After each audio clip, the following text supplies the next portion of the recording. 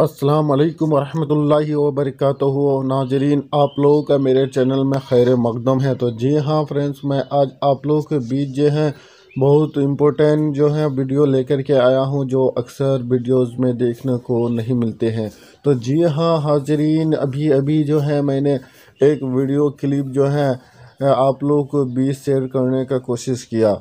जो एक कब्रिस्तान को जो है फ्रेंड्स खोद करके मंदिर बनाने जा रहा था तो बहुत सारे मुसलमान भाइयों ने उसे रोकने की कोशिश की, लेकिन रुका नहीं। तो वहाँ के जो लीडरान जालिम थे, वो जो है फ्रेंड्स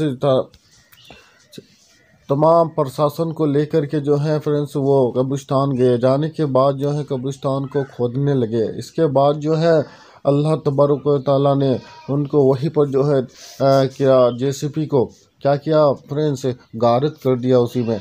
और वो अंदर के और जा रहा है। बहुत सारे जेसीपी वाले आए, उसको निकालने की कोशिश किए, हाजरीन, लेकिन उसे निकाल ना सका। तो देखिए, अल्लाह बहुत बड़ा है, जो मुसलमानों को तंग करता है तो उसको दिखा देता है। कभी जो है मस्जिद को तोड़ के राम मंदिर बनाया जाता है। दोस्तों, कभी जो है दिल्ली में कोई मस्जिद को तोड़कर मंदिर बनाया जा रहा है। मुसलमानों को मोबलिंचिंग करके जो है तरह तरह का साजिश रची जा रही है। कभी जो है दंगे फसा फसादात आर वाले और बजरंग दल वाले सब मिल करके जो है दोस्तों तरह तरह की साजिश रच रही है मुसलमानों के ख़िलाफ़। कभी करोना वायरस से मुसलमानों को जोड़ रहे हैं, कभी तबलीगी जमात से जोड़ रहे हैं फ्रेंड्स आज जो है, नफ़रत की जहरें जो है, उगल रहे हैं हिंदुस्तान के जो लीडरान हैं और जो हैं उनके आरएसएस के जो चेले हैं।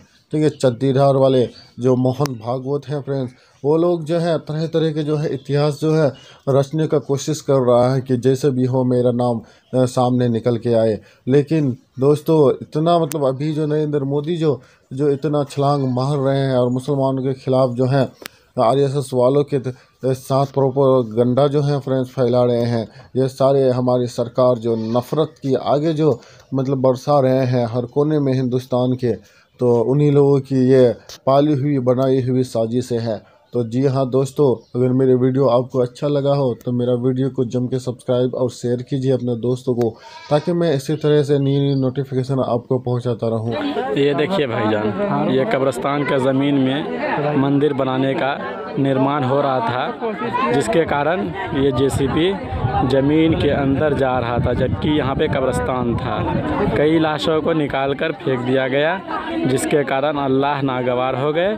इस किरान को ज़मीन के अंदर धंसा डाले और इसको निकलने का कोई गुंजाइश नहीं है। और भी किरानों से कोई भी मदद करने के लिए चाह रहे थे, लेकिन किरान नहीं निकल पा रहा है।